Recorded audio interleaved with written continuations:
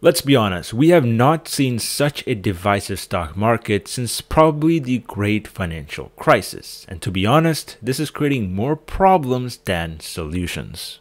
We're seeing so much misinformation and fear getting spread on social media that it might be leading more investors towards the path of losses than profits for the future.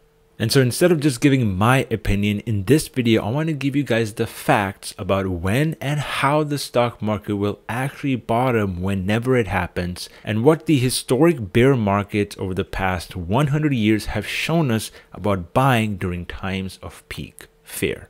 But as usual guys, before we get into it, make sure to drop me a thumbs up and hit that subscribe button if you haven't already. So to start things off, I want to look at some facts and charts to understand exactly where we've come over the past two weeks as the S&P 500 has indeed set a new low for the 2022 bear market. As you can see here right off the bat, we are seeing a record number of put buying in this market. We have never seen this happen over the past 20 years, not only throughout the Great Recession, but also the tech bubble, which is also a time when we saw retail investing actually go up.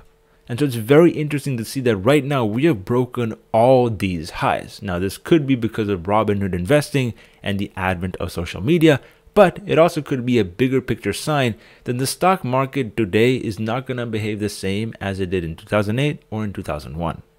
The simple reality is that the market today is driven much more by algorithms and pure retail investor sentiment than it has ever been in the past, which means Overall, as an investor for the long term, you're going to have to go through many more ups and downs, and that's going to test your patience and your conviction. But if you guys just want to look at the straight facts, this is how previous bear markets over the past 100 years since World War II have performed. To put this into perspective, right now, as of the filming of this video, the S&P 500 in 2022 is down around 25%. So think about it this way. If you want to look at this market from the worst case scenario, then clearly we probably have a lot more downside to go. But if you're looking at this from an average standpoint of view, we might not have as much downside as many people think, as the average is only around 32.7%. And unlike what many folks believe, the inflation rate on average during these bottoms was only around 4.8%. And so, no, we don't need to get down to 2% for the market to bottom. Instead, we need to wait on the trend to shift instead of just waiting for this actual number to go down. But unfortunately, as we know, the stock market is a lot more complicated than that. And one of the big indicators people have been using to mark the bottom is something called the VIX Volatility Index.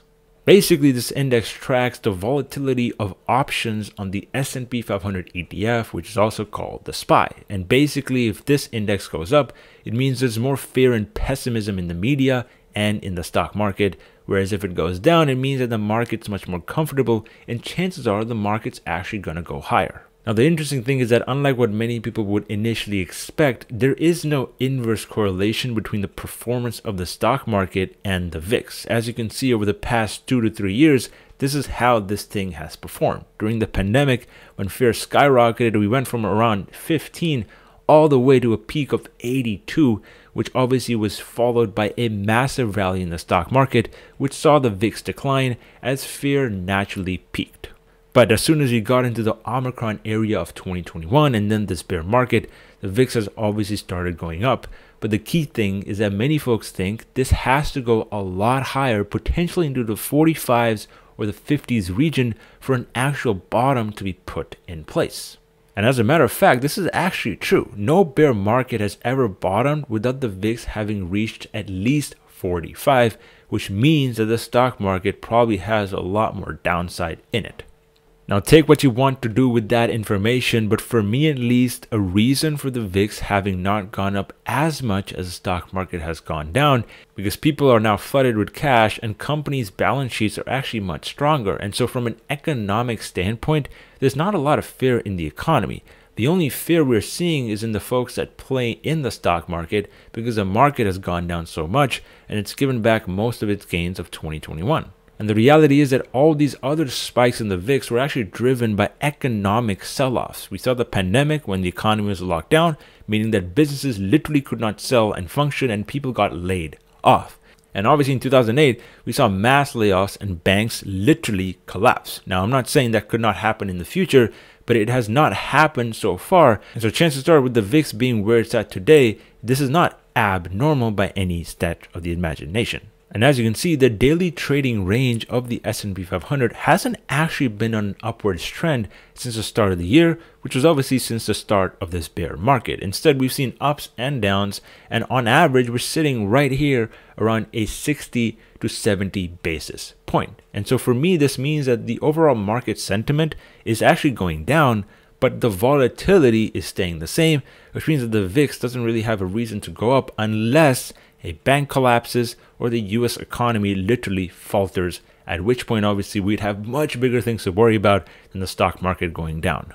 But obviously, I'm sure most folks are not going to be satisfied with those arguments when it comes to predicting the bottom of the market. Instead, we should probably look at some more facts that show the days and the time that it took for us to recover out of bear markets in the past 100 years.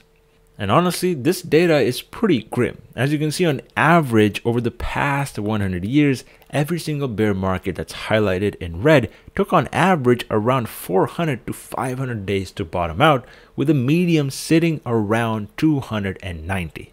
And as you can see here in 2022, as of the end of September, which again is actually outdated because the market's gone down a lot more since then, we're sitting at around 267 days, which means that chances are it's going to take a lot more time for the market to recover its highs. But you know what many people are not realizing about data like this?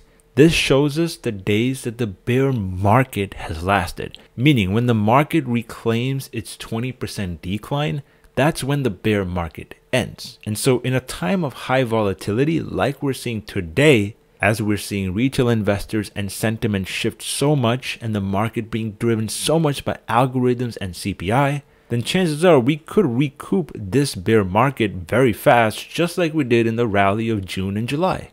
And to be honest, that neatly brings us on to addressing the technicals of the S&P 500. Now, you guys know that I don't focus on the technicals and the price action of any of the stocks that I personally invest in, but I think it's important for me to give you guys some perspective from a technical and trading standpoint because obviously this is something that I've had a background in for the past five years, and I think it's still important to understand because clearly in this kind of environment, the market can indeed be driven by these technicals. To be specific, as you can see, the massive rally that we ended up having last week on Thursday was mostly driven by us having hit a massive psychological level at 34.96. As you can see, back in 2020, when the market crashed in October and in September ahead of the elections, the market broke out soon thereafter, right around 35,800.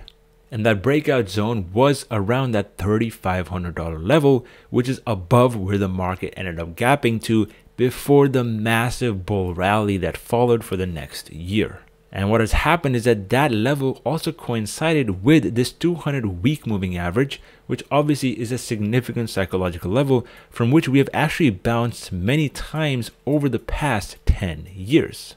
And you know what's even crazier? If you zoom out to the monthly time frame, the 50 month moving average also tends to coincide with the exact same level around 3500 on the S&P 500.